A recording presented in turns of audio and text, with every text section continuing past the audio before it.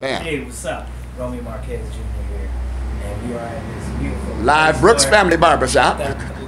What is this? Brooks Family The Barbershop. Brooks Family Barbershop. And, you know, it was a gift for me to be here. I was supposed to be somewhere else.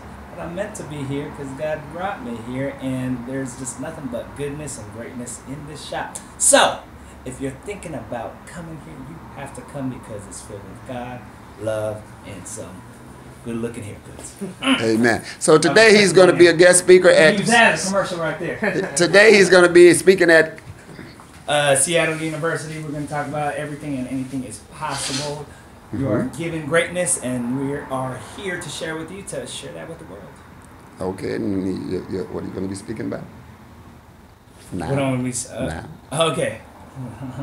so one of the things that I'm told to share with you is the acronym that I shared earlier, which is doing it now. Don't wait to do it later. Do it now, because when you do it now, we have new opportunities waiting.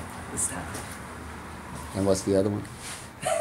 the other one is uh, the acronym is um, life. Life is about living in full expression.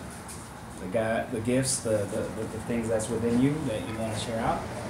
It's there for a reason, so it's time to live it out. I got Amen. many more, but Amen. So we thank God for Raymond, Brother Romeo to come all the way from.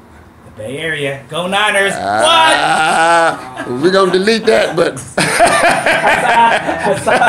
we're going to delete that. But he all right, because if, if it had not been for Sherman, they wouldn't be where they at today. Amen. all right.